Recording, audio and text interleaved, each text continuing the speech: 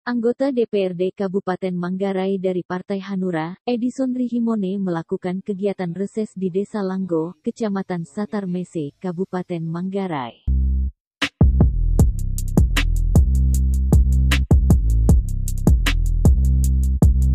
Kegiatan merupakan kegiatan rutin yang dilakukan anggota DPRD dalam rangka menjaring aspirasi masyarakat. Kegiatan reses di Desa Langgo, seperti biasa, selalu ditunggu-tunggu oleh masyarakat dengan sangat antusias. Masyarakat sangat menaruh harapan pada wakilnya yang duduk di legislatif, apalagi anggota DPRD yang mengunjungi desa mereka adalah sosok yang sangat peka dan sangat memperhatikan setiap kesulitan yang dihadapi masyarakat.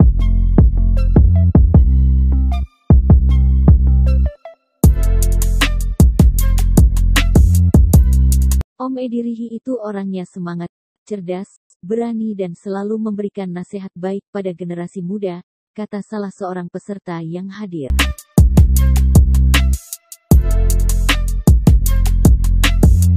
Diawali dengan penerimaan secara adat oleh para tokoh masyarakat dan kepala desa Langgo, kemudian acara reses berjalan dengan penuh kehangatan. Berbagai macam harapan dan keluhan disampaikan oleh peserta reses dan ditanggapi serius oleh Pak Dewan. kita naik kami boga kira kita nu abite masyarakat Islam boga hodet mori lonto toro pari pari sabagami rasul hole lo bogolami kapu tilami te paru pola tilami te no mai sampai dunia terus. Tegi ya besar kalau masyarakat. Pokoknya tak torok tite pada rai kami. Ite ada orang bolot saya sedang kami. Donan tahu tematar siang lagi kami. Hitu tite malam itu ataletan temba lalu jauh sakit tegi aku kami itu semua. Yo, tuh ada bang. Kap kata kalian kami. Terima kasih banyak neho kabudite neka kita goma ayah ku anak itu kesuan kolega ho kolega kucai. Lambu baru keorio. Kudu sama litir apa kita susah dan sang malai betalai selai tanotong golo. Lagu ide ho kolega kucai. Sebagai letak tembak masyarakat kalau turbo kita ya DPRD kota aku terus ingat itu ya. Tobo apa kau kudu cacar tahu sambil bolo tetamangan yang di sana Pegirakun kali itu sebagai anggota DPRD Kabupaten Manggarai sebagai anak dikti Maya. Maya lontot sama. Rezi kudu cacar tahu sangat mereka kolej manga tuh musuh musliman. Ata polin polin kita tahu itu ngasal tombol demokrasi. Bantu aku sebagai anggota DPR bantu kepala desa. Ahia sebagai tetua di desa Lambo sebagai kepala wilayah. Ngaji sama lain kali. Tak ada setahun nembak beti COVID-19 mengenai COVID-19 sehingga anggaran ada di Sentio ngaji na di sana. Ma nehor fondit. Tahu kita mengaji ada di sana. Tiba lah sebagai kapok.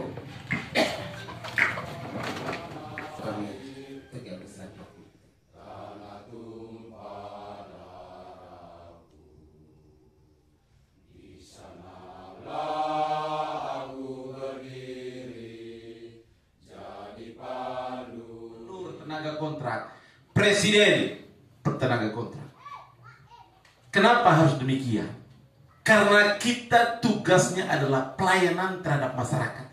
Kita dipilih oleh rakyat karena rakyat percaya bahwa kita mampu menjawab seluruh apa yang menjadi kesulitan mereka. Kenapa tenaga kontrak? Ya karena kita hanya dikontrak lima tahun. Kepala desanya dikontrak enam tahun. Kalau bagus dipilih, kalau tidak bagus tidak dipilih ya jangan marah. Saya harus bekerja supaya dipilih oleh rakyat. Kalau rakyat tidak pilih ya sudah.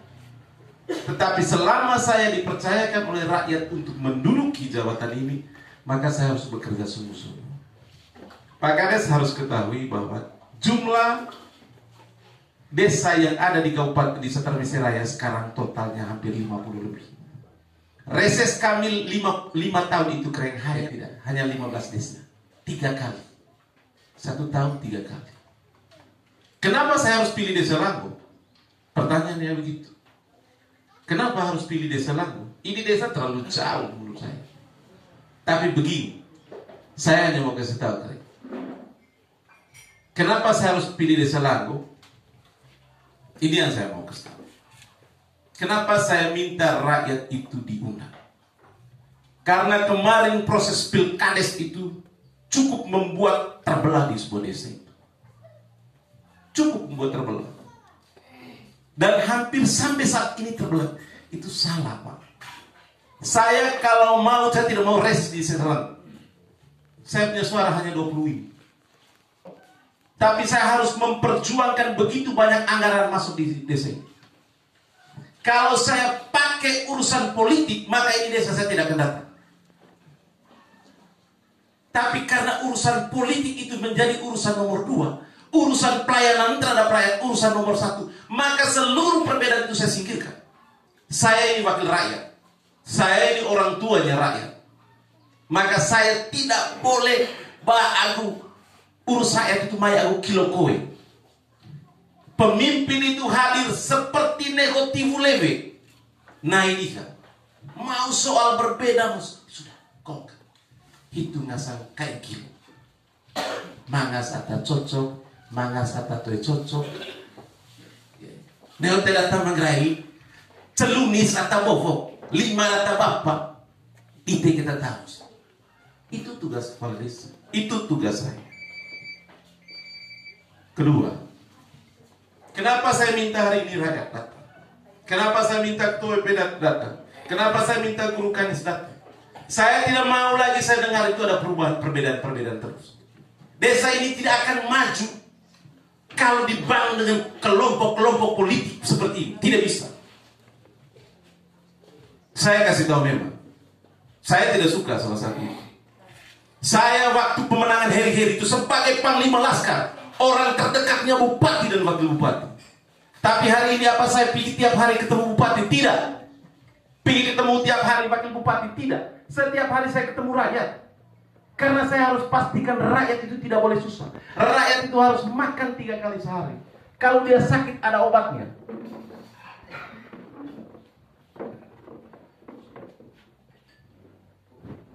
Bapak Ibu yang saya hormati, Cara cirang baik boto bosok tadi.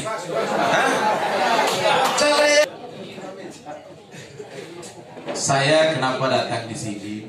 Sebenarnya saya mau mengajak kita semua Saya mau mengajak kita semua Untuk mari sudah kita bersatu Ya yang siapa lagi yang mau berpikir membangun desa Langgo kalau bukan kepala desa Langgo atau rakyat desa Langgo?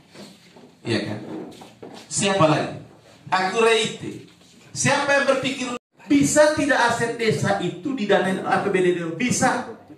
Setelah kami biayai, tinggal kepala desa buat berita acara penyerahan aset kepada Pemda Kabupaten Manggarai. Selesai, Pak. Itulah fungsi hubungan baik kita selama ini. Sehingga saya bilang Pak Guru Kadis tadi malam, Pak Guru keren harus datang. Kalau keren tidak datang saya marah. Kita ini orang tua. Kita perlu tunjukkan kepada generasi muda bangsa ini bahwa bersatu itu baik. Berbeda pendapat itu penting. Tetapi berbeda pendapat yang secara terus-menerus itu juga tidak baik. Oleh karenanya enggak mau kan? Cukup sudah. Ya, mari sudah. Reje lele. Jauh lima tahun. Mari kita bangun ini desa menjadi desa yang luar biasa. Bagaimana hari ini orang lain desa lain sudah berpikir bagaimana uh, apa muslim desnya? Cepat kita masih omong begini eh saya tidak mau bantu untuk kepala desa. Ingat baik-baik. Kepala desa itu pangkatnya kepala wilayah dan kuat. KPA kuasa pengguna anggaran Bapak mati surat keterangannya dia harus tanda tangan. Bapak surat keterangan miskin ditanda tangan oleh polis. Jangan main-main. Ya kan? Karena apa, Pak? Saya mau kasih tahu, saya bicara undang-undang sedikit ya. Desa itu, Indonesia itu setelah reformasi itu dibentuk menjadi tiga. Tiga pemerintah. Ada pemerintahan pusat, ada pemerintahan daerah, dan ada pemerintahan desa. Ya kan? Pemerintah desa itu digawangi oleh Undang-Undang Nomor 6 tahun 2014. Di bawah itu ada Permendagri nomor 42 untuk tupoksi kepala desa. Ada Permendagri nomor 110 untuk tupoksinya Bapak Ketua BPD. Sehingga ada orang bilang, Pak, staf desa tidak bisa diganti kata siapa? Kata siapa? Permendagri nomor 67 tahun 2017 itu mekanisme penang, pengangkatan dan pemberhentian staf desa. Ya jangan main. Tidak ada orang bilang, oh kepala desa tidak bisa. Kata siapa? Lawan. Saya bilang Pak Kades, lawan itu. Saya saya dukung dari belakang. Ya kan? Contoh seperti sekarang. Ada pertanyaan. Ada pengangkat staf yang ditandatangani oleh kepala desa lama. Batas waktunya tahun 2019. Bagaimana mereka mau menjadi staf kalau tidak diangkat oleh staf kepala desa baru? Ya kan? Begitu. Supaya begini, jangan gara-gara terlalu banyak. Pak. Saya bicara ini Pak. Sebelum saya jadi anggota DPRD, saya jadi pengacara. Saya belajar undang-undang itu. Dan saya omong semua Pak. Yang saya dukung, saya akan dukung. Yang kepala desa buat benar, saya saya sudah ngomong Pak Kades ini, Pak kalau buat yang benar saya saya perhatikan. Kalau tidak saya semprit Pak. Woi Pak Kades jangan itu. Itu salah. Ukraine pendapatan asli daerah kita itu ditafsirkan ke kurang lebih 120 miliar. APBD Kabupaten Manggarai itu kurang lebih di 100 1 triliun 180-an miliar sampai 100 1 triliun sampai 1,2 triliun. Kedua, pemerintah Kabupaten Manggarai berencana meminjam uang ke Kementerian Keuangan sebanyak 250 miliar. Ya kan? 250 miliar itu kita bagi nanti di infrastruktur eh, sekitar hampir sekitar 100 miliar Pak. Di pendidikan itu kurang lebih 50 di perikanan kelautan dan pertanian itu kurang lebih 40 miliar sisanya itu di pariwisata dan di bagian umum sehingga saya minta Bapak Ibu yang saya hormati eh, khusus Desa Langgo ini ya khusus Desa Langgo infrastruktur jalannya yang saya lihat sangat parah. Ya saya sudah cerita-cerita Pak Kades Pak Kades jangan lupa nanti dia punya BLT memang agak menurun karena memang dana desa juga turun ya. Semua itu terjadi Pak tidak hanya di desa Lambo di hampir seluruh desa yang ada di Indonesia itu juga mengalami penurunan. Sehingga kalau situasi COVID kita sudah mulai membaik Bapak Ibu eh, saya berharap situasi ini kembali lagi. Ya sehingga Pak Kades dengan dana yang ada dengan eh, apa situasi anggaran yang yang menurut kita bergerak aja susah tolong itu diteliti supaya setidak-tidaknya rakyat itu terbantukan secara begitu. Berkaitan dengan infrastruktur yang lain Pak Kades kebetulan saya di tim rumus badan anggaran Kabupaten Manggarai ya maka saya minta selalu komunikasi Pak Kades ya apa yang bisa kita komunikasikan, apa yang Pak Kades mau langsung sampaikan ke Bupati, nanti kita ketemu supaya disampaikan. E memang asa tato eko paguto e patut boge kre. One vai tau na. One la so tau sane. Itu ngasa nga lonto kayak kilo. Mungkin memang ngata tepas bahwa tobor dakut ngasang anak lain sebagai tuan lain minta maaf. Akhirnya Selamat siang dan terima kasih. Saya mau menyampaikan bahwa anak Teddy masuk di Langgo hari ini. Kami sebagai orang tua sungguh-sungguh berterima kasih. Dan pertama dari penyampaian dari anak ini saya sebagai orang tua akan jemput ini gitu itu pak. Pernah kok omel untuk nea DPR, mereka mau nganga. Kalau kau saya udah nonton, coco, tuh betul itu yang pertama. Dan ajuan pengajuan saya gini, setelah bapak pensiun dulu 2016 ke Kupang. Sampai di Kupang saya merasa prihatin terhadap saya punya masyarakat dan minta untuk membangun SMA negeri di Langgo. Apa jawaban dari sekretaris di dinas? Waktu itu kepala dinasnya ada keluar, Sinul Petrus Manuk. Saya ketemu Alumi, orang Manggarai dia. Dari bagian Manggarai Barat. Dia bilang, wah itu bagus Bapak.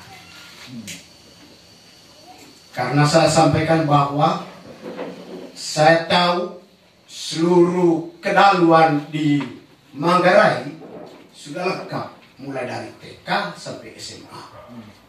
Tinggal kami punya kedaluan wilayah Pocoleo. SMP sudah ada. Hanya SMA-nya lari ke T, ke IT. Barangkali bisa di Lago itu bangun SMA negeri. Ini Pak Loming langsung bilang, terima kasih Tuhan. Kita sama-sama ambil uh, contoh proposal. Pulang ini keren tua bertemu dengan tua-tua adat untuk berikan tanah.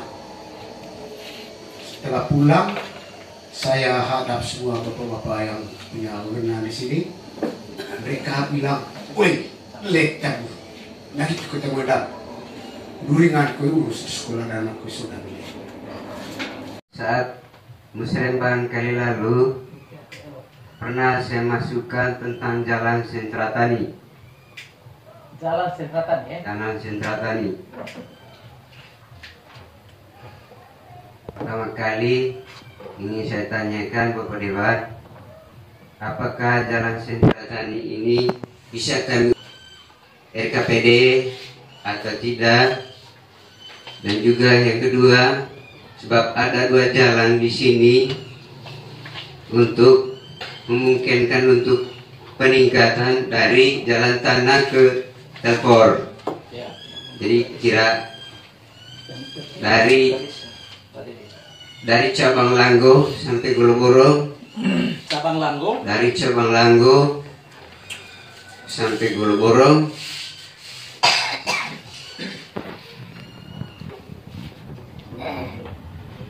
dari Webelang sampai Laci.